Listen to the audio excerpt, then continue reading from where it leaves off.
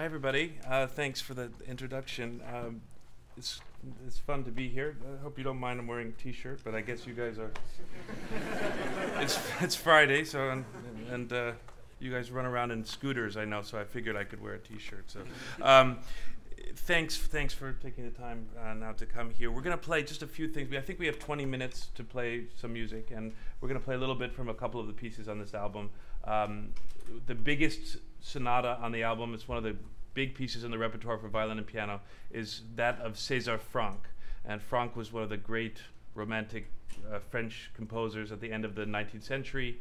And um, he actually wrote this piece, this the Franck Sonata, which is one of the most popular pieces in the repertoire. He wrote it for uh, a violinist, Eugène Ysaÿe, who was one of the greatest violinists that ever lived, and he lived at that time. And it turns out uh, this was written in 1880 for him. He actually ended up teaching the man that became my teacher. So because um, he was, anyway, it seems impossible because the 1880s, but it is actually true. Um, and so I feel a particular connection to this piece. But it's uh, we're going to play just the last movement. It's a very tumultuous piece, very passionate piece. The last movement is where the sun kind of comes out, but we're just going to start start with that um, with the last movement. It's uh, I won't say anymore. You can Google Google the rest. Okay. Before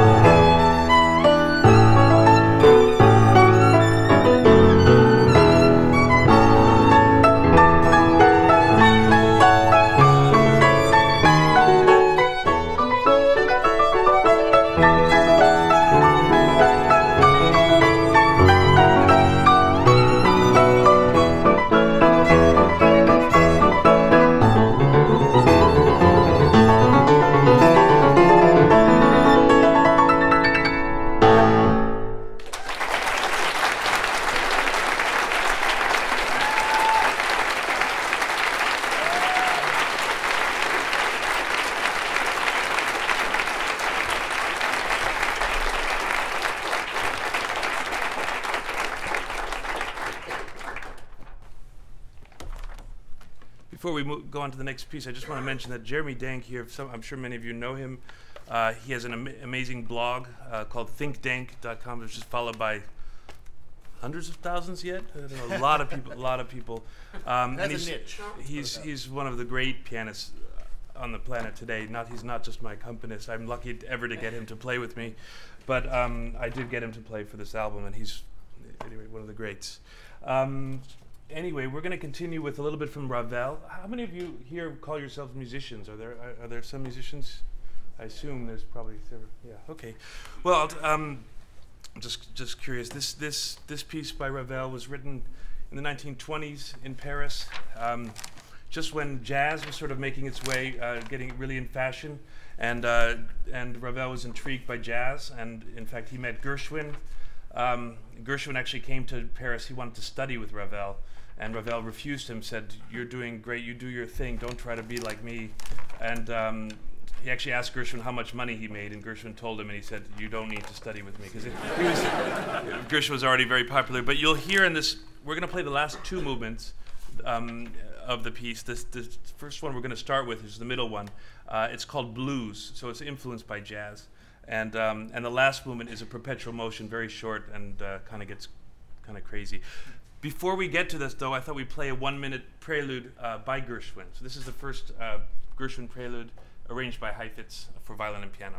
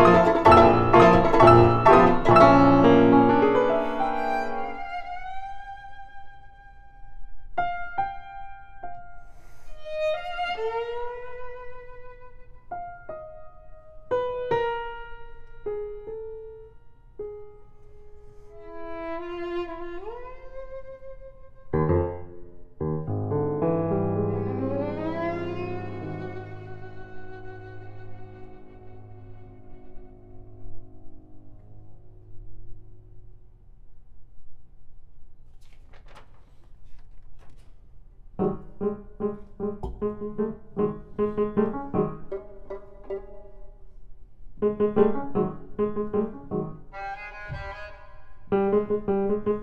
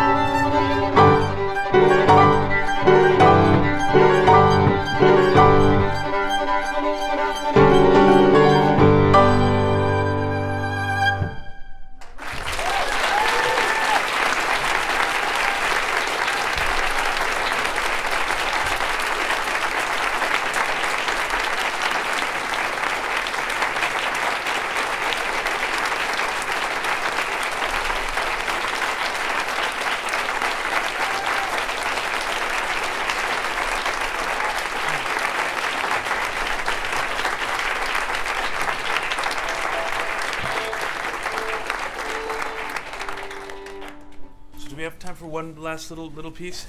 Um, okay, well, we'll we'll end with uh, a little piece, a, a virtuoso uh, piece written by a by a sort of flashy rock star violinist of the 19th century called Sarasate, and he wrote this piece. Um, I think I first played it when I was 11.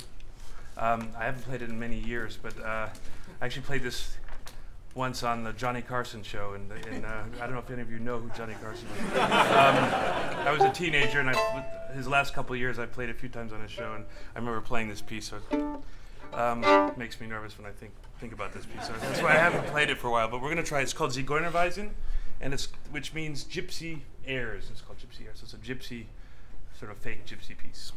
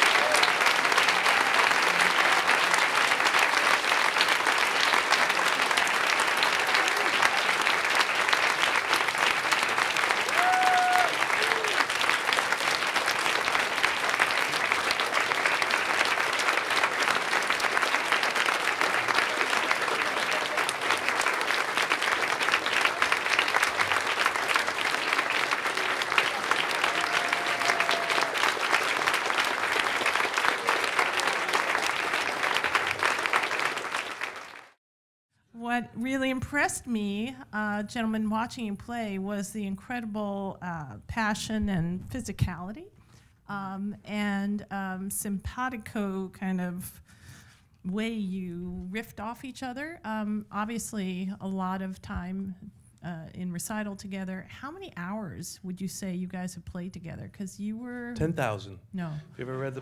you ever read Gladwell's Gladwell's book? It's exactly ten thousand. um, well, we've played a lot together, and we've uh, b- both been playing our instruments for, since for since a very early age. I was four, and you were what, Five. when you started. But we've been playing together about seven years, and um, and uh, it certainly takes a lot of work. But there's also a certain amount that you need a chemistry, and there's and we understand the language of this music, so there's it, g- gives us the freedom to. It's like you know, jazz musicians. They don't sometimes they don't rehearse at all. and They just get up and play, and you wonder how on the earth did they? But they understand the language and the rules, and they can uh, and they can take liberties, and, and the other can pick up on it, and so it's, I a nice see, feeling 'cause when you have that you were chemistry. doing that. You were looking at Joshua quite a lot and just taking cues from his body. I have mean, to his keep an back eye was on to him. you. Yes. Actually, the violin is a very um, the bow helps a lot. It's a lot harder to know when a pianist is going to play, but the bow is very. You can lead. You can uh, do a lot from the way you use a bow. I actually direct. I'm the I'm the music director now of the. You mentioned the, the Academy of St. Martin in the Fields, which is an orchestra that's made many many recordings, including Amadeus soundtrack and a lot of things.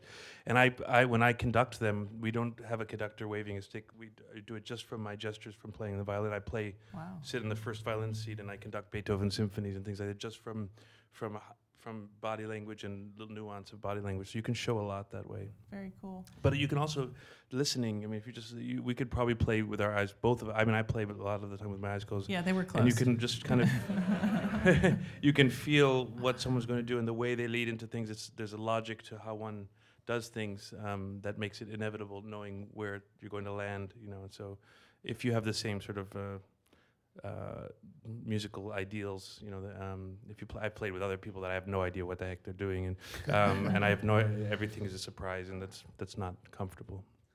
Well, it's clear virtuosity, and it's obviously you guys uh, play beautifully together. It was our pleasure to hear that. Um, so, besides you know Google and Carnegie Hall, um, it, uh, what's been the most interesting place each one of you has ever played? Because you both you probably have overlapped a lot, and I'm sure you have different experiences. Jeremy? Actually, most recently, I played in my parents' new retirement home. Oh, dude. To, to How's Very, the career, how's the very- career going, Jeremy? very middling acclaim. and it was quite a quite an experience. The comments and the general ambiance. It was also an electric piano.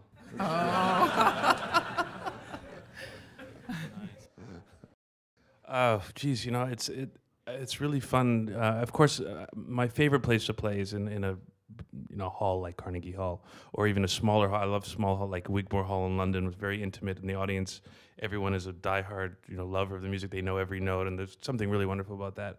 But it's also fun to play in you know crazy places. I've gotten to play. I've done a concert at Central Park outdoors, you know, for hundreds, thousand people.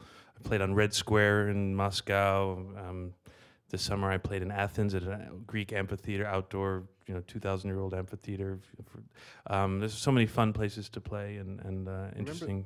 Remember the castle we played in where it was open air and the electrician went home after the first half? Oh, yeah. Was that in, where was that? And In we had to f- Spain? In yes, in Mallorca, or something? Yeah. yeah. You We had to play in the play in the dark. dark We played in the dark. Yeah.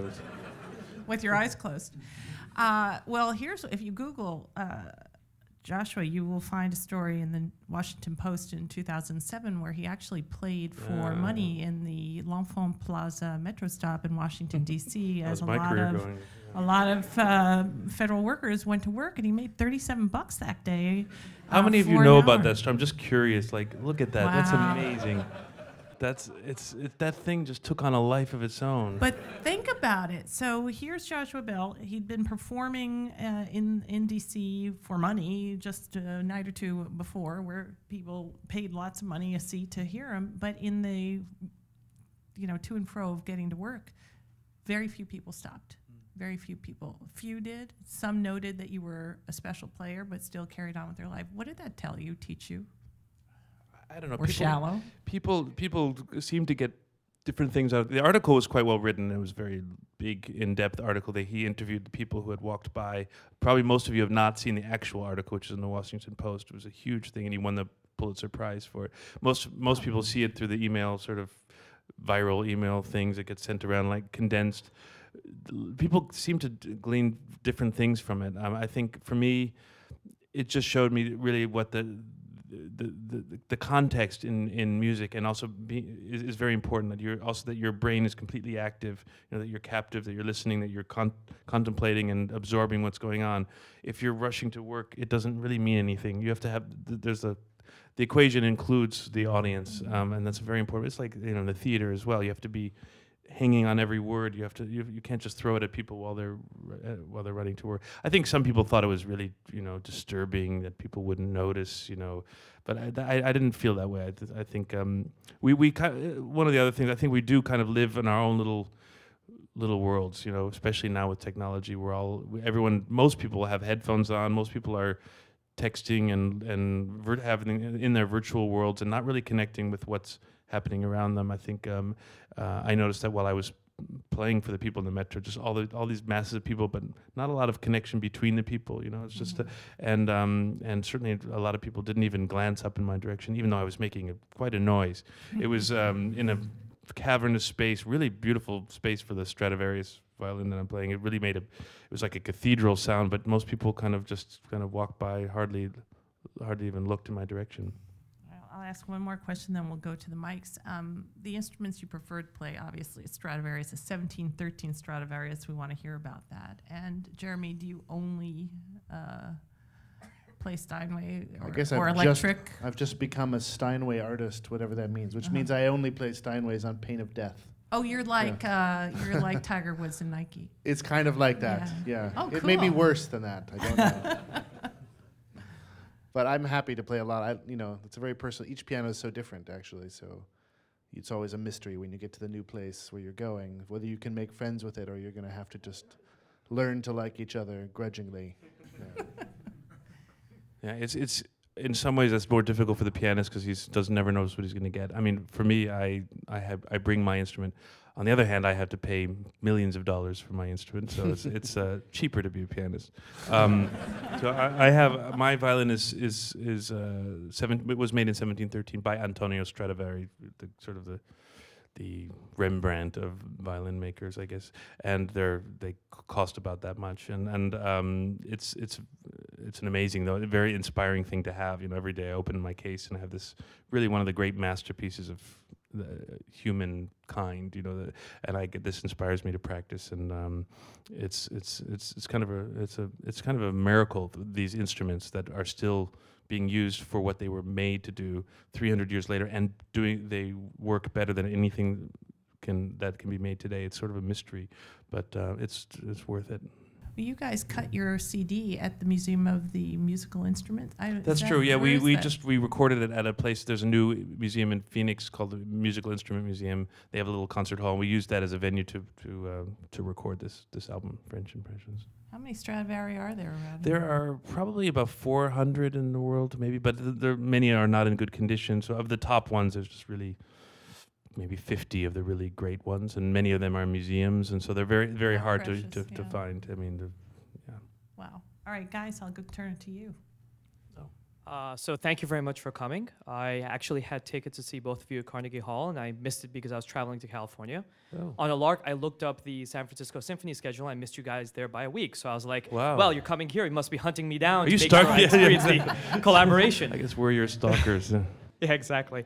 Um, on that note, uh, can you guys talk a little bit about the background behind your collaboration, how you guys met, what made you guys decide to work together, and I guess most interestingly, um, what did you learn from each other over this collaboration? I think Joshua's mother figures very prominently. in- No, but Yeah, it- she does. Well, actually kind explain of- that, please. please. Yes.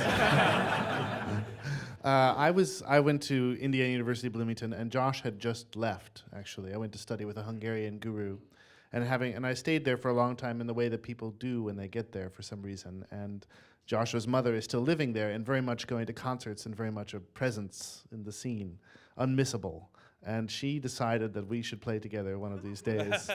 and uh, but then we didn't really meet until the Spoleto Festival in Charleston in 2004 when Yeah, I mean, we both knew of each other, uh, his reputation, and, and, and he knew about me. We we kind of, I grew up in Bloomington, Indiana, and I went to school there. That's why my family lives there. But my mother did used to say, you know, have you heard this pianist? He's really great. I, uh, he's really the best out there. You got to play with him. So eventually, we happened to overlap at something. We played a piece together, and we clicked, and and uh, that was seven or eight years ago, and we've been, you know, we played ever since.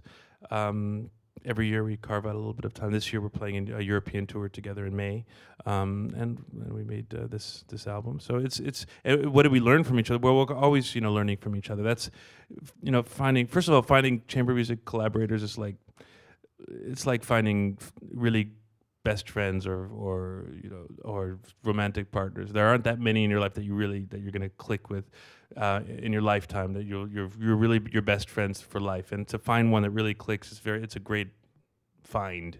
And so when that happened, we. Um, uh, we knew something was you know was going to work and and then after that it's the rehearsing process we we learn from each other you know we we discuss the music we discuss our views we come from different places the same music we and so different minds uh, approaching it. It's basically a puzzle. You know a piece like this it's a puzzle. It's left by someone 100 200 300 years ago.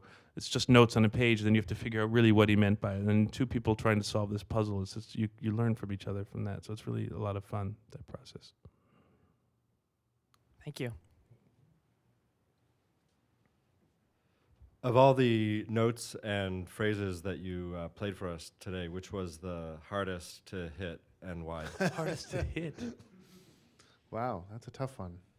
I, I don't think they can be really ranked in that way, right? Um, well, there's certainly technical. You know, there are certain places in the piece. You know, the thing that last piece for me is a very technical uh, piece. There's some, you know, definitely had some triple axels in there.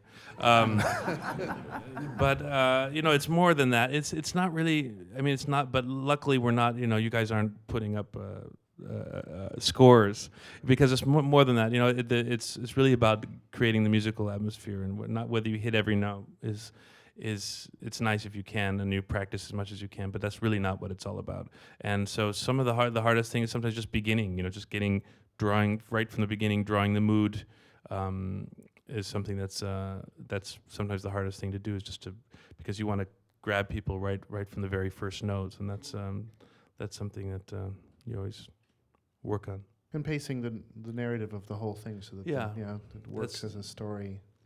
Pacing is like it's it's you know pacing a piece uh, something that what the audience doesn't always think about how you've done it. You just audience especially if you don't if if you're not if you're if music isn't your life and you're just listening to a piece you don't really think about how the piece is paced necessarily. You may just think whether it work, works or not whether you're bored or whether you, whether you were excited or whether you were drawn into it. It's the same like movies you know? Um, if you just know if a movie works. If you get into the business you start to understand what the director's done to make it work. And uh, what a director does, I, you know, is pacing, knowing how to pace the actors, knowing how to to cast the narrative so that it doesn't peak too soon, that the audience, that the actors aren't crying at the beginning for no reason if it hasn't been set up by the proper, you know, th- all of that is being set up in a movie, in a film, um, so that for the emotional impact to work. And that's the same with with uh, music. And that's what we do. We work a lot on the pacing of timing and and hitting the right emotional note at the right times and saving for the right moments, et cetera, et cetera. Hi. So there's a small black clip that I saw you move from one place to another on the Oh, violin. What is that? That was a mute. That's a mute. It's, Oh. um, uh, it's it's a little thing that you put on the the bridge that the strings rest on is really responsible for transmitting a lot of the sound from the strings to the instrument. And so if you just mute it the slightest bit with just a little piece of plastic, the sound diminishes greatly and it gives a more somber. It, it eliminates a lot of the high overtones and it gives a more sort of sweeter, somber sound, which was an effect for that particular melody uh, in the piece. So that's called it's a mute. Hi. Um, my question is kind of related to the one before that. Um, The mute? well, no, no. No. um, you know, hitting the notes. Um, Oh. I, I, I remember reading a book about, you know, like modern performances tend to really strive for the perfection that a recording Hmm. usually try to achieve, right? And people get used to that. I mean, because Hmm. we listen to CDs a lot more than going to concerts. So we kind of expect that, oh, this guy had, you know, if you're playing a round note, nah. Um, but then, but actually, there's, as you said, you know, there's so much more to you know music than just hitting the right notes. And actually, I mean, live music is so much more you know uh, enjoyable to I agree. than Yeah. CDs. But so, would you comment on that, like the listening habits of, of modern you know audience? Does that play you know like a positive, negative thing on you know the, the In the in the end, you we can't really worry about the expectations of the audience. First of all, our own expectations are usually we set them higher than uh, because we're perfectionists and we're never happy. So we, we don't we're not really playing thinking, oh, what is the audience they're going to worry about if we hit miss it? No, at least I I don't I don't do. It, it's and it- so Depends on how many, I guess. At a certain point, yeah, after a certain point, it starts you to add up. you start Yeah. you know refund refunding them the money but um, but uh, I think it is true though that with modern recordings we're so used to perfection um, and uh, and in pop music my gosh in pop music every all these pop artists it's all a it's all a with most 90% of them it's all done in the studio you know all the pitch control all the thing uh, most of the pop artists can't actually even do live performance properly which is kind of a sad thing. We're used to all this stuff that's done be, done and, and I love live music but and some of the, my favorite pop artists are the ones that can really get out there and play a live show that really that uh, that's uh, that's the real What do you thing. guys like? Pop. Pop quiz. Nobody. I was just saying that to. to um, but. uh, um, I, I used to be. I like this old, like old stuff, like the '70s, like Genesis and Beatles and stuff like that. Um, Sting, I've played. I played with and Oh, done stuff with him. I like. He's someone that gives a great show. That really is a real musician. Like it's not just uh, sorry i'm being that sounds really snobby to say so to talk about pop musicians that way. But um, a lot of them i'm afraid you know um, well milli vanilli was the was the first big example. But but um, but we're getting off the off the, the track but we're used to this perfection um, and um, in, in classical recordings everything is, is also we do the same thing you know we, we correct everything and we splice in a note here from another take Oh, and you do. oh yeah oh Uh, you should. I'm playing from the score, and there's all kinds of hilarious numbers written. You know, two bars and take something something. from a record from the recording session. Yeah. So so yeah, I mean because you really now we're used to it, and uh, myself I don't want to mistakes on the record. They can you can let them go in a concert, you forget about them, but a record they have to you you know they're going to be there forever. So it's a little daunting to make re- recording. Is um so so I, I just love live performance. That's where for me that's what it's all about. As as much as I want to promote our new album, it's for me live is is where it's where it's at. Okay, thanks. Um, another question is usually like a wrap-up question here. Um, like, you know, people usually ask, you know, um, do you use Google products? um, I would like to flip it a little bit. Like, among all the Google products that you do use, is there one that you like the least? Oh wow. least. That's interesting. Um, well, interesting. Well, actually, Jeremy t- Jeremy got me to switch from the Apple to the to the uh, Android phone. Um, from um, we're on our way to Apple after after this, so we're gonna we're, we're, um, I gotta get my story straight. Okay, um, yeah. So we're using we're both using the same Sure I- Infuse uh, Android phone, which I'm really enjoying the flexibility of, of the of, of the Android. What don't uh, um, it's harder to it's harder to sync the Android phone. I'm having a harder time. Like it's not as seamless. Uh, some things with Google are working. Some of the things aren't working so well. So can you work on work on that? Um, but I really love Google. I love the whole thing. I use I use. I mean, obviously we all use the the internet search. But um, I I'm now becoming more of a it's becoming more of my way of life. The whole um, uh, contacts calendar I use for for all my you know my publicist and my agents and my assistant. We all do use Google Calendar as a way to kind of uh, convene um, online and and sync everything. That works fantastically. You have to Um, start doing Hangouts then. Start doing what? Hangouts. You can do. What is you it? can have a video Hangout on Google Plus. Oh, I haven't done that yet. It's Yeah. easy and do it. You'll love it. I'm hanging out plenty already, so it's bad. You could do it virtually. I don't know if we had. I, I didn't think. I couldn't think of, of anything. What don't you like? Uh, what What has been? We're, I want I want more email themes. I don't know. that- Is that bad? I just No, it's I, good. I'm not satisfied with the current offerings. I know that's very silly, but I wish. Yeah. Thanks a lot. That's good. So I had one related question to that that I wanted to ask. Um, many of us, I think, have learned an enormous amount about music, my family in particular, about classical music from YouTube. We get to see things, performances from Sure. decades ago. Me too. Amazing. Things Me that we get. I was wondering how you use that because it's a, it, it must be something of uh, interest to professional musicians like you as well. Oh, I sit for hours watching, and people have uploaded, legally or not, wonderful old recordings. Uh, for example, the Julius Katchen playing was a great old uh, Brahms expert who died suddenly of, I forget what, cancer, I think, and and you don't hear his recordings anymore, and they're all on YouTube. and Amazing things, and only it's kind of sad sometimes you see certain things with you know millions of views, and then this recording, which is one of the greatest recordings ever made, I think. Uh, it's like 234 views. You So know. put it on Yeah. thinkdenk.com. I should. I should. You're right. You're right. I You'll don't do too double it. much. Yeah. Yeah. Um,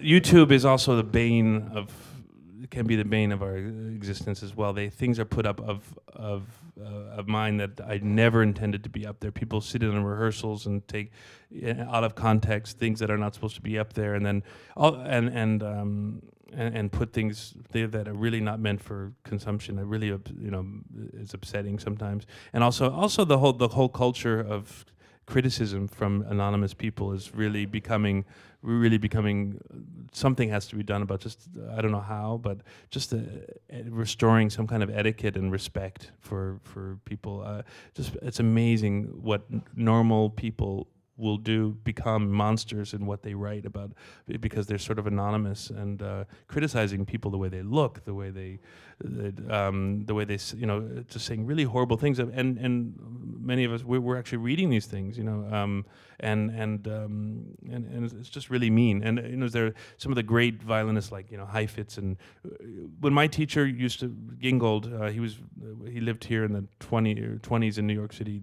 He used to go to every concert. They all the violin young violinists would go to every concert and and they respected all of them they were each each one was like there are these icons I, don't- I really don't think that they were all like being so negative about it. Here now on YouTube, it's like everybody picks the one they like and they they just trash the one they don't like, and there's not a respect for just a basic respect for. And I, I don't know if that's that's sort of the internet thing, and I don't know what um, Mm. what will if it'll ever change. But All right, gentlemen. Well, thank you so much for your time. And honestly, it's a delight. We could go on for, I have a lot more questions, but I get to have lunch with them. So uh, please go and pick up the CDs if you haven't. Get some for your parents, your siblings, your loved ones. And uh, we wish you the best. I think you're performing tonight at City Winery, isn't that right? at the? City Winery, in, uh, which is another unusual venue for us. But That's a um, little weird, yeah. And uh, anyway, thank you. I know you all have could have had other things you could have done with your hour, so I really really appreciate that you Nothing you chose it than to come here. So Thank thank you. you. Thank you very much.